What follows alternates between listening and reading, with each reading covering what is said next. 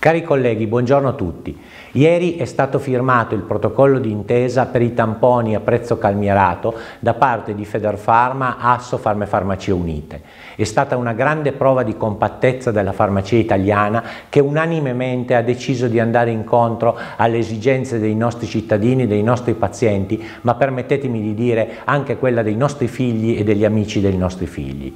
Il nostro impegno è stato unanimemente riconosciuto dal governo e il ministro Speranza durante la conferenza stampa dopo il Consiglio dei Ministri ha ringraziato le farmacie italiane, tutti i farmacisti italiani, non solo per questo ma per tutto il lavoro svolto durante la pandemia. È stato un grande riconoscimento.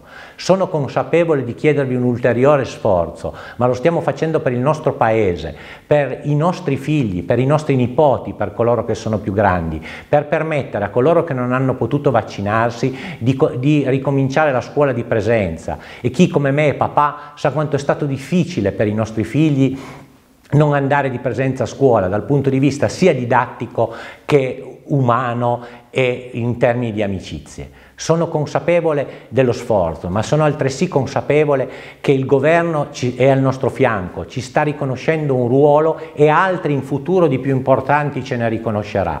Ieri il ministro Speranza ha firmato il decreto ministeriale che introduce, come promesso, da settembre la remunerazione aggiuntiva per le farmacie. Questo è solo un piccolo segnale di quello che possiamo fare in futuro tutti insieme, ma soprattutto quello che dobbiamo fare come cittadini italiani per il nostro paese che sta attraversando un momento di grande difficoltà. Quando decidete se fare o non fare i tamponi, pensate ai vostri figli, pensate ai vostri nipoti, pensate ai nostri ragazzi che devono andare a scuola a settembre e rincontrare le loro amicizie. Buon lavoro a tutti.